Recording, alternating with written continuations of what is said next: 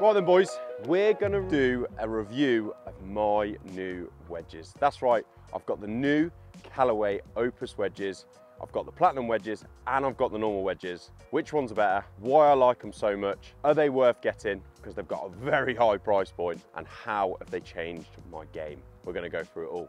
Let's do it. So I hadn't really ever brought like specific wedges for myself. I never really got fully fitted for wedges and to be honest, I love short game. Like it's a big part of the golf game. I really enjoy short game. It's one of my strongest parts of my game. And I really felt that I was struggling from like outside of 50 yards. Around the green, I was good with my old wedges. I had the Callaway Jaws Raws, but I wanted to fit in with the shafts and I'll talk that a little bit later on as well but I just wanted a bit of an update. And I have to say, since I've had the Opus wedges, it's been absolutely games changing. I mean, what I love the most more than anything is the look. I mean, they're just absolutely beautiful. Like that lovely sort of bit roundish, nice lines, sort of look like reminds me so much of like a, a Vokey but I actually think they look even better. I've got the irons that are perfectly fit to me. Obviously I've got woods that are really well fitted to me. I've got a nice putter that I'm happy with, but the wedges have always been one that I felt like I never really spent my money on. And it really, if I wanted to get my approach game better and my tee to green game better,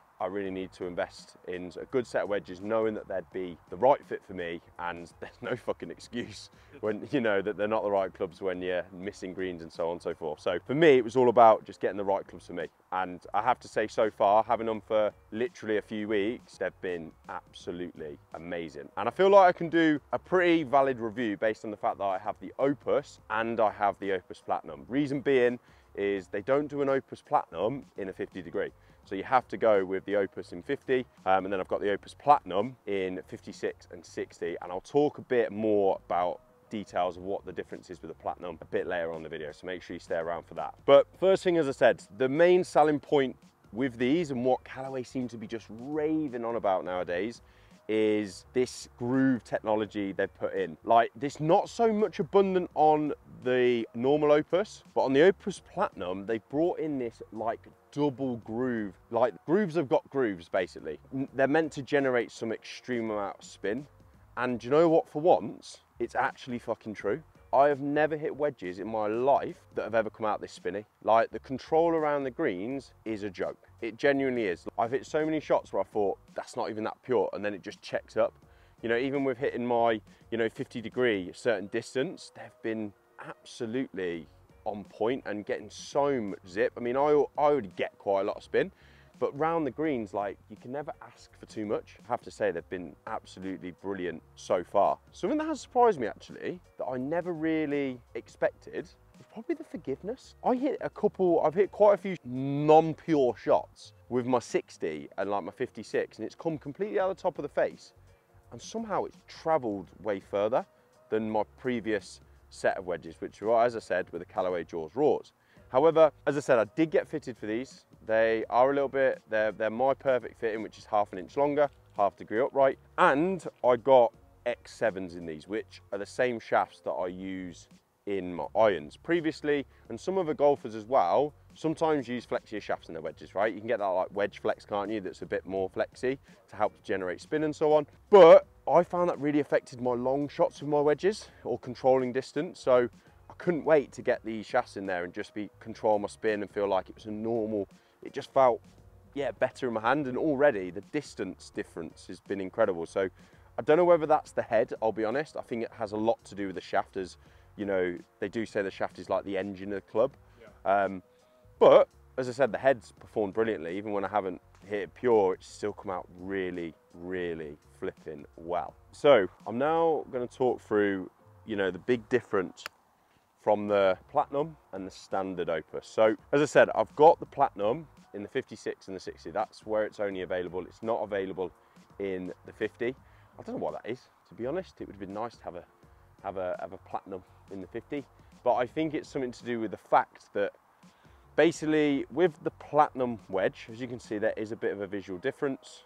The Platinum has this bit of tungsten at the bottom and you've got like a bit of a ribbed, ribbed chrome face as well, where the the standard Opus is smooth all over and again, both very similar shape. These are both S grinds as well, so there's no difference in shape with these. One's got, this has got 12 degrees of bounce, bounce from 56 and this has got 50. So it's very, very similar club, but as you can see, a slight visual difference with, with the Platinum. Now, the main difference, as I said, is this bit of tungsten. This is meant to add a bit of weight to the club. This is meant to help you get a bit more down force. It's meant to help generate a bit more spin and lower trajectory, which is exactly why I got one because I was like, do you know what? For me, I hit a really high ball. A lot of club speed, a lot of ball speed, a lot of spin means this usually, right? But if I can try and keep the ball down, I'm going to use everything I can. However, do they justify the big price difference? I think you're genuinely looking at 70 around these about these I think these are around 170 I may be wrong on that so don't hold me to a few you know five quid or something. And I think these are looking around at least 70 quid more. You're talking like 250 quid a wedge. If I you then put in my the shaft which is another which is of another extra this is a 300 pound wedge people. I mean how mental is that? Just crazy isn't it? But having said all that fucking worth it genuinely. Like the performance that I'm getting out of the 56 and the 60 is just unreal. If I look at my previous wedge shots, just if I was, let's say I'm hitting a standard wedge, right? Never normally would it probably come out that low. And it, it, it is actually quite mad how low I find these come out. I mean, look at that. That's just a standard shot. And so I've never felt like I've had more control probably in my in my golf game with, with these clubs. I mean, I'll try and hit one a little bit higher. And I feel like you've got that. That wasn't very pure at all. Let's not try and make out it was. but it really does, there, there have been like so, so good. And I think if you're looking for a, if you're looking for a wedge where you really want to try and dial it in in their middle distances of like 70 yards, 80 yards, where the pros are just terrific and I'm really shit, they really help you improve because I just think they've got far more control.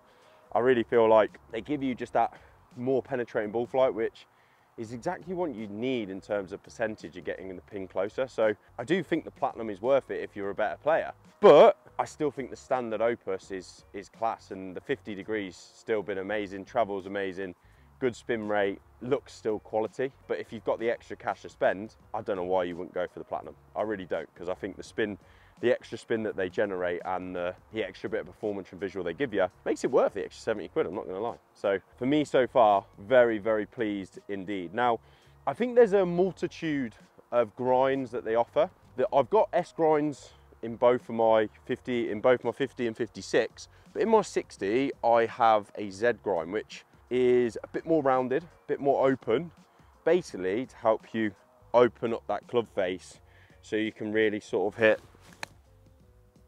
them flop shots.